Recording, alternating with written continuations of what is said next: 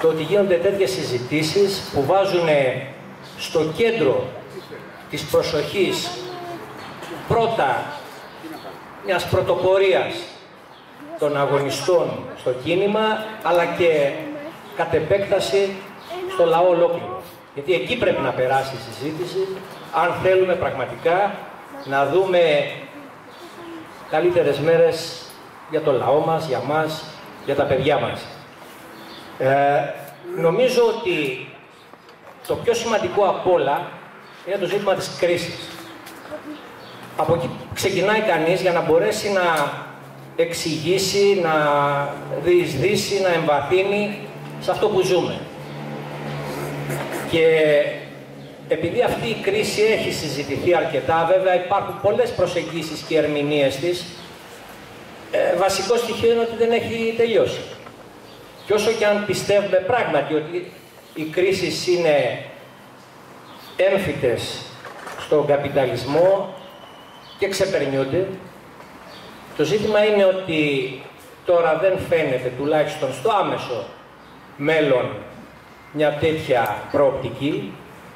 Αυτό που ζήσαμε είναι επάλληλες κρίσεις το τελευταίο διάστημα. Να σας θυμίσω την Κίνα με τα 6 τρισεκατομμύρια που χάθηκαν στα χρηματιστήρια εκεί μέσα σε ένα μήνα, την κρίση στην Ευρώπη με τη Deutsche Bank αντίστοιχα κάποια τρισεκατομμύρια ευρώ κλπ. κλπ. Ε, το άγχος των καπιταλιστών είναι η επόμενη εμφάνιση της όξυνσης αυτής της κρίσης πάλι. Που θα πάει. Γιατί κάθε τέτοιο ξέσπασμα δημιουργεί και κοινωνικές εντάσεις και είναι ευνόητο αυτό και έχοντας συσσωρευτεί φοβερή ενέργεια στο ελαττήριο είναι ευνόητο ότι φοβούνται. Το ξέσπασμα ακόμη και επαναστατικών διαδικασιών στους λαούς. Ε, γι' αυτό και οι πόλεμοι βέβαια και θα επεκταθώ λίγο μετά σε αυτό. Η κρίση λοιπόν που έχει καθαρά δομικό χαρακτήρα και χτυπάει την ουσία του συστήματος του καπιταλισμού γιατί αυτό που λέμε κρίση υπερσυσσόρευσης κλπ. έχει να κάνει ε, με ένα δείκτη που έβλεπα τώρα τελευταία πριν μια εβδομάδα δηλαδή, μια μελέτη που αυτό που λέγαμε για την πτωτική τάση του μέσου ποσοστού κέρδους είπε ο Μάρξ που είναι μια μεταβαλλόμενη διαδικασία, δεν είναι σταθερή, πότε έτσι, πότε αλλιώς. Τα τελευταία τουλάχιστον 30-40 χρόνια όλο και στη διακύμανσή της οξύνεται. Το τελευταίο διάστημα έχει οξυνθεί ακόμη περισσότερο. Αυτό όμως είναι και η γενεσιουργός αιτία του νεοφιλελευθερισμού. Γιατί αν δεν προσεγγίσει κανείς και το σύστημα αυτό διαχείρισης του νεοφιλελευθερισμού στην πραγματική του υπόσταση και απλά το θεωρήσει σαν μια συμφωνία, σαν μια επιλογή του συστήματος, νομίζω ότι θα κάνει λάθος. Δηλαδή, αν υπάρχει άλλη δυνατότητα διαχείρισης του καπιταλισμού με άλλο τρόπο και ενσιανό ας πούμε ή μια καινούρια αντίληψη, κάτι που δεν έχει φανεί, το ψάχνουν εδώ και δεκα, δύο δεκαετίες τουλάχιστον να το βρουν αυτό οι οικονομολόγοι οι αστεί, ε, δεν διαφαίνεται όμως. Δεν διαφαίνεται και επειδή ακριβώς βαθαίνει, δημιουργεί αυτό το σύγχρονο καπιταλισμό, εμείς το λέμε ολοκληρωτικό καπιταλισμό, με την έννοια ότι έχει αγκαλιάσει όλες τις πλευρές της ζωής των λαών, των εργαζομένων, ε, σε όλο τον κόσμο. Από αυτή λοιπόν την άποψη και παίζει ένα ρόλο αυτό γιατί, γιατί αν δεν συζητήσουμε για το πώς ξεπερνιέται αυτή η κρίση, να πάμε στο επόμενο βήμα δηλαδή, τότε αυτός που αναλαμβάνει τη διαχείριση της διακυβέρνησης μιας χώρας, μέσα σε αυτά τα πλαίσια, μήπως είναι γραφτό του να γίνει ΣΥΡΙΖΑ. Δηλαδή, και ο ΣΥΡΙΖΑ δεν ξεκίνησε ως νεοφιλελεύθερη αντίληψη. Η πολιτική που ασκεί είναι βαθιά νεοφιλελεύθερη, για να μην πω ακραία. Άρα δεν πρέπει να μας προβληματίσει αυτό γιατί ως πολιτικά όντα στοχεύεις και σε πολιτικές λύσεις. η πολιτική λύση σημαίνει ότι κάποια στιγμή θα γίνει και κυβέρνηση. Άρα, πώς θα προσεγγίσεις αυτό το ζήτημα; Ποια είναι η δική σου πρόταση διαχείρισης πιανού, του συστήματος, του καπιταλισμού; Αν είναι αυτή, τότε είσαι αναγκασμένος να λειτουργήσεις νεοφιλελεύθερα. Τουλάχιστον αυτό δείχνει εμπειρία μέχρι τώρα. Και σε όποιες χώρες έγινε προσπάθεια, ακόμη και στη Λατινική Αμερική, που πήγανε σε μια διαφορετική κατεύθυνση, Βενεζουέλα, Χιλή, σε ένα βαθμό, Αργεντινή, ο Μοράλες κλπ. Βλέπουμε ότι ένα-ένα πέφτουν για αυτά τα κάστρα. Γιατί; Δεν μας προβληματίζει. Διαχείριση κάνουν και εκεί με έναν άλλο τρόπο, με μια άλλη προοπτική. Βέβαια, κάποιος είχε πει ότι ο καλύτερος δρόμος για την κόλαση είναι οι καλύτερες προθέσεις. Ε, το θέμα είναι στην πολιτική και στην κοινωνική πρακτική να έχεις καθαρούς στόχους και το τι πραγματικά βλέπεις μπροστά σου. Εμείς αυτό το λέμε ταξική πολιτική, δηλαδή ποιον εξυπηρετείς κατά βάση, στην ουσία. Φυσικά όλη την κοινωνία θα έρθεις να εξυπηρετήσεις, αλλά κατά κύριο λόγο ποια συμφέροντα εκφράζεις. Από αυτή λοιπόν την άποψη, πραγματικά είναι πολύ δύσκολο να δούμε σήμερα μια τέτοια δυνατότητα διαχείρισης του συστήματος σε αντι, αντινεοφιλελεύθερη αντίληψη, αλλά με καπιταλιστική δομή. Ε, αν ξεπεραστεί η κρίση, πάντως συζητήσουμε. Τότε πραγματικά ε, θα είναι μια, ένα πεδίο δόξης λαμπρών το να αναπτυχθούν αντιλήψεις διαχείρισης του καπιταλισμού με τον α, β, γ τρόπο. Αλλά για την ώρα δεν φαίνεται. Τώρα, φεύγοντας από αυτό, καταλαβαίνει κανείς και τι είναι αυτό που γεννάει αυτή την πραγματικότητα που ζούμε.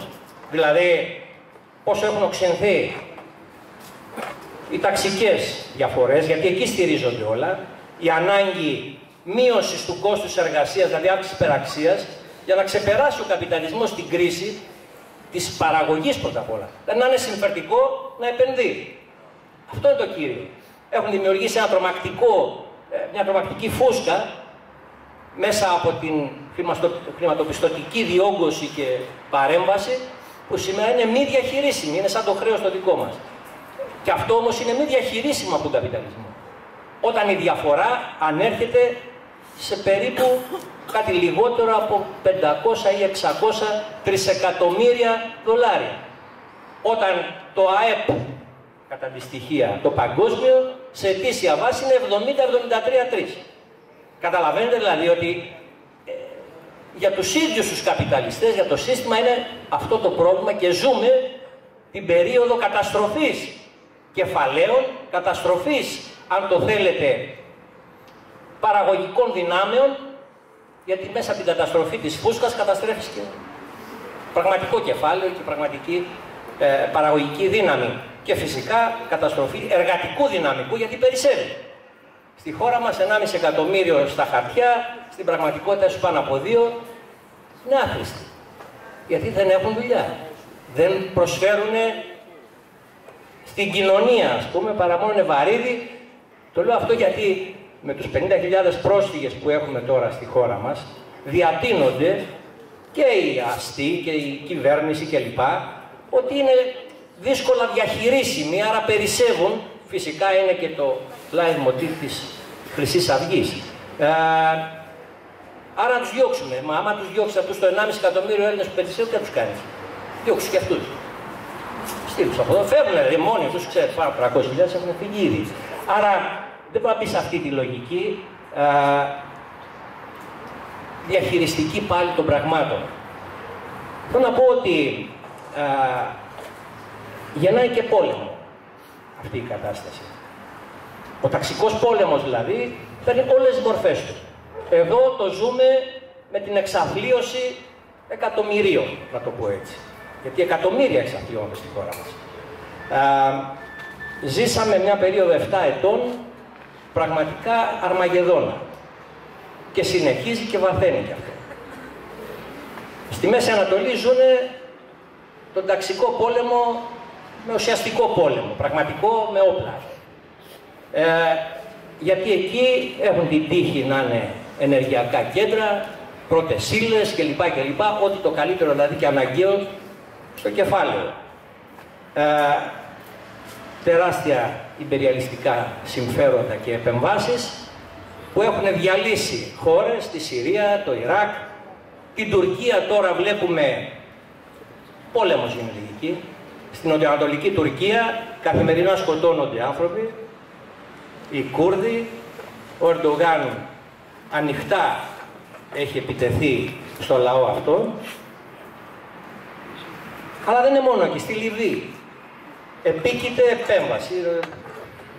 Όλοι το έχουν τούμπανο λέει και εμείς κρυφό καμάρι. Ε, το ΝΑΤΟ γι' αυτό το φέρανε στο Αιγαίο, για να μπορέσουν να στηρίξουν μια επεμβατική πολιτική, όχι μόνο στη Λιβύη βέβαια, και στη Συρία και στην Τουρκία και όπου χρειαστεί, γιατί όχι και εδώ. Η νέα αντίληψη είναι ο εσωτερικός εχθρός για την Ευρωπαϊκή Ένωση και το ΝΑΤΟ, που γι' αυτό η αρμάδα περιπολεί και μάλιστα με νέα δεδομένα θέλουν να επεκτείνουν την κυριαρχία σε όλο και στη Μεσόγειο από κάτω να είναι παντού, να κυκλοφορεί, γιατί περιμένουν εξεγέρσεις. Βλέπετε Γαλλία. Δεν τυχαίο. Η Γαλλία νομίζω ότι δίνει ένα παράδειγμα του πώς μπορεί να φτάσει η ταξική πάλι σε οξυμένα επίπεδα. Κάτι που έγινε στη χώρα μας το 11-12, αλλά εκεί υπάρχουν ευθύνες πολλές γιατί σταμάτησε. Θέλω να πω ότι η συνδικαλιστική γραφειοκρατία, ο κρατικός ή κρατικοδίαιτος συνδικαλισμός, ε, όλο αυτό, αυτός ο συρφετός κατάφεραν με μια λογική να πάνε το κίνημα εκτονοτικά, βήμα το βήμα, όπως τώρα. Προσέξτε, αυρόχης ποσή, περάσανε τρία φοβερά πράγματα. Φορολογικό, ασφαλιστικό και τον κόφτη. Δηλαδή τον κόφτη ο οποίος τι είναι, μόνιμο μνημόνιο. Χωρίς καν να χρειάζεται και ψήφισης. Ανά πάσα στιγμή, μόλις ανεβαίνει ο δείκτης, τσακ τον κόβουνε. Δηλαδή το μισθό μου, το μισθό σας, τη σύνταξη κλπ. κλπ. Και αυτά τα περάσανε με μια virtual reality διαμαρτυρία στο Σύνταγμα. Αυτό δεν συζητάμε. Γιατί, μήπως ξαφνικά έπεσε η μαχητικότητα της ελληνικής εργατικής τάξης ή των λαϊκών στρωμάτων ή των ανέργων; Γιατί στις 4 Φλεβάρι ο κόσμος ξαναβγήκε στους δρόμους; Αλλά το Μάη μπήκε ξανά μέσα. Ένα πολύ απλό να σας πω, όταν αναθέτεις την ίδια την κυβέρνηση να σου κηρύξει απεργία, ε, είναι εύλογο ότι ο κόσμος δεν είναι βλάκας, καταλαβαίνει. Τι νομίζω, είναι πρόβατα και θα τα πάμε όπου θέλουμε, πατάμε το κουμπί και απεργούν, πατάμε το κουμπί και σταματάει η απεργία. Έχει χάσει την εμπιστοσύνη του πρώτα απ' όλα στην αριστερά. Αυτό είναι δεδομένο. Και έχοντας χάσει αυτή την εμπιστοσύνη, πώς θα βγει να διεκδικήσει και μάλιστα όχι απλά ένα πραγματάκι, μια αύξηση ας πούμε. Εδώ το παραμικρό αίτημα περνάει μέσα από την ανατροπή της πολιτικής που ακολουθούν οι κυβερνήσεις τα τελευταία χρόνια. Άρα αντιλαμβάνεται ότι χρειάζεται σύγκρουση, χρειάζεται ρήξη. Και εδώ είναι και οι απαντήσεις. Γιατί, κοιτάξτε κάτι, το να πάρεις όπως είπα μια κυβέρνηση, quand το πετύχεις και με τις εκλογές, φάνηκε κιόλας ο ΣΥΡΙΖΑ από 4-5% έφτασε ξαφνικά στο 36-37, μακάρι να πάει και στο 80. Τσαουσέσκου, αλλά για να δούμε, έχει την εξουσία. Δεν τρελαθούμε. Ποιο λαϊκό κίνημα τον στηρίζει; Ποιο λαϊκό κίνημα όταν το 62% στο δημοψήφισμα ψήφισε όχι σε αυτές τις πολιτικές, προσέξτε και με απειλή τότε εκπαραθύρωσης από την Ευρωπαϊκή Ένωση, όχι έξοδο, γιατί δεν μιλάει για έξοδο η κυβέρνηση και ο κόσμος, αυτός ο ταλαιπωρημένος, ο χτυπημένος, ο προσκυνημένος για πολλούς, ψήφισε όχι. Ψήφισε όχι όταν τον απειλούσαν θεοί και δαιμόνοι. Δεν το ξεχνάμε, η δεξιά κατέβαινε με την ετικέτα ναι στην Ευρώπη. Δηλαδή ήταν καθαρό για αυτούς τι πεζόταν. Και βέβαια ο η κυβέρνηση, το άλλαξε σε μια νύχτα, το όχι το έκανε ναι, τα γνωστά κτλ. Το ζήτημα είναι, μέσα στην Ευρωπαϊκή Ένωση μπορούμε να προχωρήσουμε σε αλλαγές και οικονομικού, παραγωγικού χαρακτήρα κλπ. κλπ. Γιατί κοιτάξτε, όταν υποστηρίζουμε μια άποψη θα πρέπει να την τεκμηριώνουμε κιόλας. Δηλαδή είναι άλλο πράγμα αν ε, ως Ευαγγέλιο ή θρησκευτικά αρχίζω και λέω πιστεύω σε ένα Θεό γιατί αυτό είναι σωστό, γιατί έτσι μου το δώσανε. Και είναι άλλο πράγμα να βγαίνω να τεκμηριώνω ότι πραγματικά μπορώ μέσα στην Ευρωπαϊκή Ένωση να πετύχω αλλαγές για το καλό του λαού, όχι γενικά. Αλλαγές γίνονται συνέχεια. Αλλά δεν είναι προς το συμφέρον του κόσμου, είναι προς το συμφέρον των μονοπωλίων, του κεφαλαίου κλπ. κλπ. και των εξουσιαστών ευρύτερα. Ποιος μπορεί να τεκμηριώσει την αντίληψη ότι μέσα στην Ευρωπαϊκή Ένωση σήμερα όπως είναι σήμερα αυτό έχουμε, δυστυχώς αυτό αντιμετωπίζουμε. Αν μιλήσουμε για μια ιδεατή κατάσταση όπου θα αλλάξουν όλες οι κυβερνήσεις της Ευρώπης, είχε γίνει και παλιότερα αλλά δεν άλλαξε η πολιτική της. Σας θυμίζω ότι τη δεκαετία του 80 τότε με τον Παπαντρέου, μία-μία κυβερνήσεις αλλάζανε, γινόντουσαν σοσιαλιστικές, σοσιαλδημοκρατικές κλπ. Η Ευρώπη δεν άλλαξε ρε γάμο σα ίσα αντιδραστικοποιήθηκε, έγινε νεοφιλελεύθερη στο σύνολό της κλπ. Άρα, μήπως πρέπει να αρχίζει να ξεφτάει το πουλόβερ από κάπου, θα πρέπει να ξεκινήσει μια διαδικασία. Να είναι η Γαλλία αυτή. Βλέπετε όμως ότι εκεί, επειδή ακριβώς δεν έχει διαμορφωθεί ένα κίνημα που να βάζει αυτό επιτάπητος, δεν το συζητάνε και θα τους κουτουπώσουν. Σας θυμίζω το Μάιο του 68 που μακάρι να μην ξαναγυρίσει όπως κατέληξε. Αν τώρα το κίνημα δεν βάλει πολιτικούς στόχους, πού θα πάει η δουλειά; Θα το γυρίσουν εκεί. Πολιτικός στόχος είναι βέβαια το θέμα της Ευρωπαϊκής Ένωσης, δεν είναι μόνο το ευρώ. Εδώ έχουμε τουλάχιστον μια διαφοροποιημένη αντίληψη. Ε, δηλαδή είναι σαν αυτό που λέει στον πεινασμένο, δεν δικό μου, το είπε και ο Γιωργάκης, είναι κινέζικη παροιμία, ξέρω εγώ τι. Στον πεινασμένο δεν να του δώσει ένα ψάρι, να το μάθει να ψαρεύει. Δηλαδή να το μάθει να κάνει πολιτική. Δηλαδή να βάλει τα πιο σημαντικά ζητήματα, ζητήματα επιτάπητος και να τα αντιμετωπίσει. Λέμε λοιπόν ότι καλό θα ήταν να δημιουργηθεί ένα κίνημα κατά της Ευρωπαϊκής Ένωσης, από τα αριστερά Γιατί αυτή τη στιγμή μας παίρνουν το νήμα η ακροδεξιά. Και αυτό που παίζεται στην Ευρώπη, βλέπετε Γαλλία, η Λεπέν, είναι πρωτοκόμμα. Αυστρία, 50-50. Όχι μόνο αντιδραστικοποιείται η Ευρώπη, αλλά πάει και σε μια άλλου τύπου ανατροπή των δεδομένων που θα τρίβουμε τα μάτια μας.